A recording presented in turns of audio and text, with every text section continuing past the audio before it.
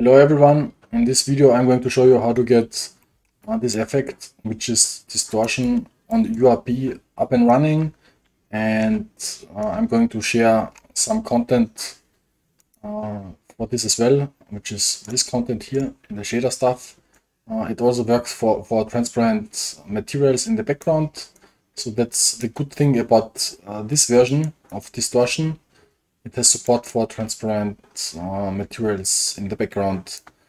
Uh, to make everything work, you don't only need what I'm going to provide you, which is this stuff, but you need something else as well, uh, which is this here. This is from uh, some other guy who made this URP uh, grab pass, which uh, grabs image also uh, with transparent backgrounds. Uh, to get this installed, please copy this link here. So I will give you this link in the description down below.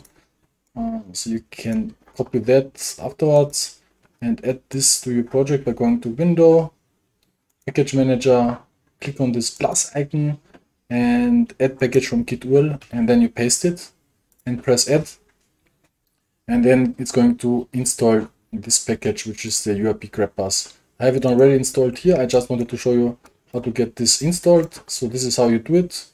Uh, this content that I'm providing you as a download, you also have to, uh, to import. Uh, I'm going to provide it to you as a Unity package, uh, or as a zip, where the Unity packages is inside. So you unpack the zip, and then with edit import package, where is it now? Asset, sorry, under asset import package, custom package, you just select uh, the downloaded Unity package and import it into your project and you have this content as well. So with both, both contents up and running, you can get this up and running. so what you also need to set up is under edit project project settings quality. You can click uh, on the render pipeline asset so it moves in the project there. And if you select this, you can click on the renderer by clicking here. So you see which renderer it's using. So it's using this renderer. And in this renderer, you have to add this grab pass render feature by pressing add render feature, then add the grab pass render feature. And the settings for the uh, grab pass render feature for this to work have to be like you see here. So it needs after transparent, so it works uh, for transparent as well. And it needs this grabbed texture as grab texture name underscore grab texture. Also, what you need is this use color texture as the shader light mode. Uh, otherwise, this won't work. Uh, the sorting criteria, just use common transparent. I actually didn't look too much into this, but like that it works. So just use these settings. I mean, this is an external asset, so I don't know too much about it, but it works and it works pretty good. And in my opinion, it works much better than all the other assets that do similar things uh, from the ones that I tested at least. Maybe there are better ones, probably, maybe, I don't know. But for this one, this is perfectly fine. And the shader that is being set up here is this uh, distortion shader that I'm using on this material. So it's Hoax Games distortion shader.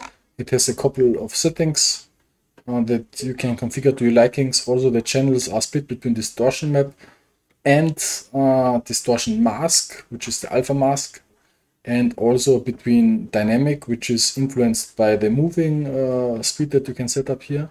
So this thing can move and everything, and the static one, which is always mapped statically on the image on the on this billboard, and it works also on both sides. In this case, you can change all that, of course, here as well if you want, but I have configured it like this.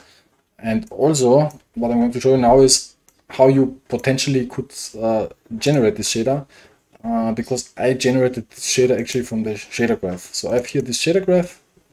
I opened it by double clicking the shader graph so you can edit or check it out to your likings. Uh, save it if you make any changes and uh, if you click on view generated shader you can check out the code that was generated. And the thing is this is not going to work out of the box with transparencies. To make it work with transparencies, this is why I generate this additional shader here, is uh, this line of code. You need that. Alright? and you need it on two places. So you need it once here. So I, I just copied this line of code and I will paste it here.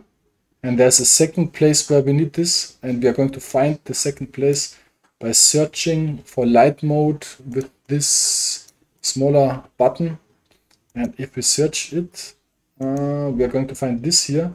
And above of that, which is this, we have to add this as well. So if we added this on these two places, we can give the shader a name and we go to say it's Hoax Games distortion test and we select everything and copy it. Then we go in here create shader only shader and call it distortion test.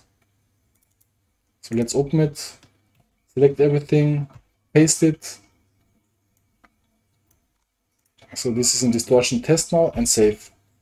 You cannot save it in here because it's not going to work. If you save it directly in the generated code of the shader graph this is not going to work so that's why we paste it here in a new shader. So we put this new distortion test shader. So let's see if it works. So here we are using the shader distortion shader hookscam distortion shader. Let's move to the new generated i, I mistyped. Look hoax games. So let's go to hoax games. Sorry for mistyping uh, and use distortion test, which is what we just created. And you see it still works the same. But I'm going to fix this naming because... Alright. So, hoax games, distortion test. And yeah, but I'm still going to use my distortion data because I'm going to remove this distortion test. I don't need it. I'm using this one. You can use this one out of the box as well. You do not have to generate this. But if you want to, to make some changes to your shader graph, this would be the workflow, how to get it up and running because you need this light mode added. And I don't know how to add this inside the shader graph. Otherwise, I would have added it here, but I just don't know. So if any one of you knows how to do this, how to add this to the shader graph, this light mode use color texture, then please uh, write it down in the comments below. It will be helpful for me and for a lot of other people as well, because it would save this generation, it would save the generation of this shader. So I'm going to remove this and I'm also going to show you how this looks in game. It's going to get a little bit loud now if I press play. Uh, so I'm not going to talk but you will see the distortion when I dash with the player. This is why I'm saying it's in front before I press play, because it's going to be loud. But let's check it out.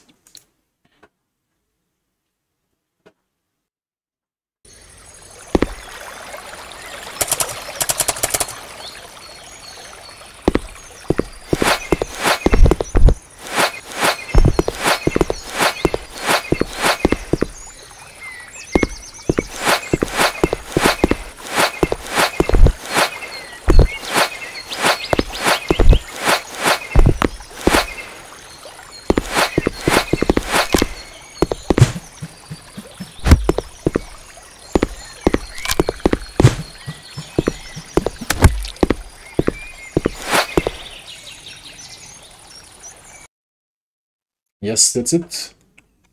Uh, and that's it for this tutorial as well. I hope you like this effect. I hope you like this tutorial and the content that you are getting with it. And if you want more content like that, uh, leave a like and subscribe.